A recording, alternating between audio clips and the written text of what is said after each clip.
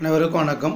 இன்றைய பாடப்பகுதியினுடைய தலைப்பு பேர் ஆஃப் ஸ்ட்ரைட் லைன்ஸ் அதாவது டூ டைமென்ஷன் என்ற தலைப்பில் இரட்டை கோடுகளை பற்றி படிக்க போகிறோம் அதில் ஒரு கேள்வி எடுத்துக்கிறோம். Show that a square minus y square plus x minus three y equal to zero represents a pair of lines இதுதான் கேள்வி. X square minus y square plus x minus three y two equal to zero என்பது இரட்டை நெருக்கோடை குறிக்கும் என காட்டுக.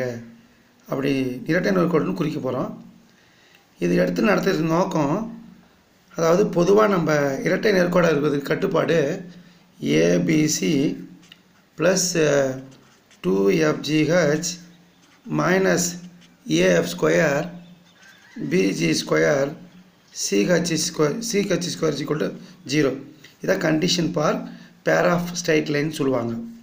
இதை நம்ம என்ன பண்ண போகிறோம் அணி கோவை முறையை பயன்படுத்தி இந்த வகுப்பில் செய்யலாம்னு இருக்கிறோம். இது வந்து மிக சுலபமாக இருக்கும். ஏன்னா லெவன்த்து டுவெல்த் வந்தோடனே நம்ம ஃபெமிலியராக அணிக்கோவை அதாவது நம்மளுக்கு விரிவு பண்ணி எடுத்து டிடர்மெண்ட்ஸ் மூலிமா மதிப்பு கண்டுபிடித்து நம்ம ஈஸியாக இருக்கும். அதை டிடர்மெண்ட்டில் எப்படி ஆரம்பிங்க ஏபிசி எஃப்ஜிஹெச் அதே மாதிரி எஃப்ஜிஹெச் அணிகோவின் மதிப்பு பூஜ்ஜியம். இதுதான் condition for pair of straight lines அதாவது இரட்டை கோடாக இருப்பதற்கு கட்டுப்பாடு. இந்த சூத்திரத்தை பயன்படுத்தி அணிகோவின் மதிப்பு பூஜ்ஜியம் வந்துச்சுன்னா தரப்பட்ட லைனானது பேர் ஆஃப் ஸ்ட்ரைட் லைனை குறிக்கும். இரட்டை நேர்கோடை குறிக்கும்னு தான் நம்மளுடைய கேள்வி. எனவே நம்ம என்ன பண்ண போகிறோம் இரட்டை நேர்கோட்டினுடைய பொது வடிவம் செகண்ட் டிகிரி ஈகேஷன் சொல்லுவாங்க. A square two h x y by square two g x two f y plus c zero இதை வந்து தரப்பட்ட ஈக்குவேஷனோட கம்பேர் பண்ணணும். தரப்பட்ட ஈக்குவேஷன் எழுதிக்கிறேன் பாருங்க. X square minus y square plus x minus three y minus two zero இது ரெண்டுத்தையும் compare பண்ணி ஏ வேல்யூ கண்டுபிடிக்கணும். ஏ வந்து ஒன்று பி வந்து மைனஸ் ஒன்று எக்ஸ் ஒய்யே இல்லை. எனவே ஹச் ஜீரோ எக்ஸு இங்கே பார்த்தோன்னா two g two g g equal to ஒன்று g is equal to one by two two f is equal to minus three அப்போ f minus three by two c வந்து நம்மளுக்கு என்ன கிடைக்குதுன்னா சியின் மதிப்பு வந்து மைனஸ் டூ இதை கம்பேர் பண்ணுறோம் தரப்பட்ட கோட்டனுடைய கோட்டை வந்து நம்ம செகண்ட் டிகிரி ஈக்குவேஷனோட கம்பேர் பண்ணி ஏபிஹெச்ஜி எஃப் சி கண்டுபிடிச்சிட்டோம். நம்ம எய்ம் இந்த வகுப்பினுடைய நோக்கம் வந்து அணி கோவையை பயன்படுத்துறது. டிடர்மெண்ட்டை பயன்படுத்துது டிடர்மெண்ட்டை நமக்கு தெரியும். A value H value G value A value H value G value அதுக்கு அடுத்தது போல் ஹச்சி பிஎஃப் ஹச்சி பாருங்கள் ஜீரோ பி நம்மளுக்கு வந்து என்ன கிடச்சிருக்கு பாருங்கள் பி மைனஸ் ஒன்று தென் எஃப் நம்மளுக்கு தெரியும்.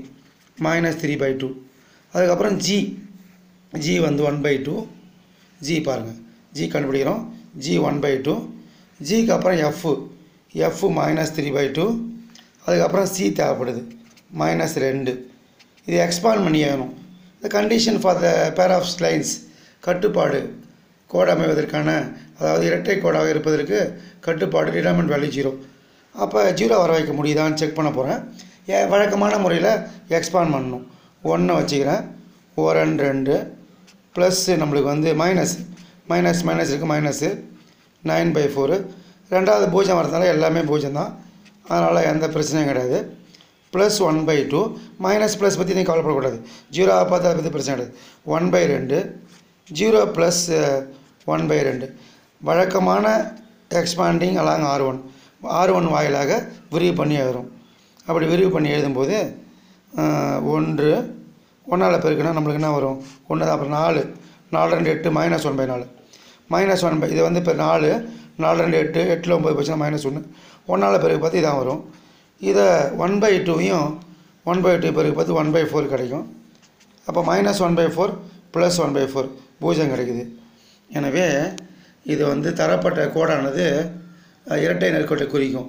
Given given represents a pair of straight line சொல்லுவாங்க. எனவே அன்பு மாணவர்கள் வந்து இந்த சூத்திரத்தை பயன்படுத்தி ஏன் இதை நான் சொல்லித்தரேன்னா இங்கே ஏதாவது சி கொடுத்துருவாங்க இங்கே சி கொடுத்துருவாங்க இல்லை இங்கே கே கொடுத்துருவாங்க அப்போ என்ட்ரன்ஸில் கே வேல்யூ கண்டுபிடி சி வேல்யூ கண்டுபிடிப்பாங்க. அப்போ டிடர்மெண்ட்ஸ் அப்ளை பண்ணி நம்ம எளிமையாக விடை காண முடியும் கூறி இந்த வகுப்பை இத்துடன் முடித்துக் கொள்கிறேன். நன்றி வணக்கம்.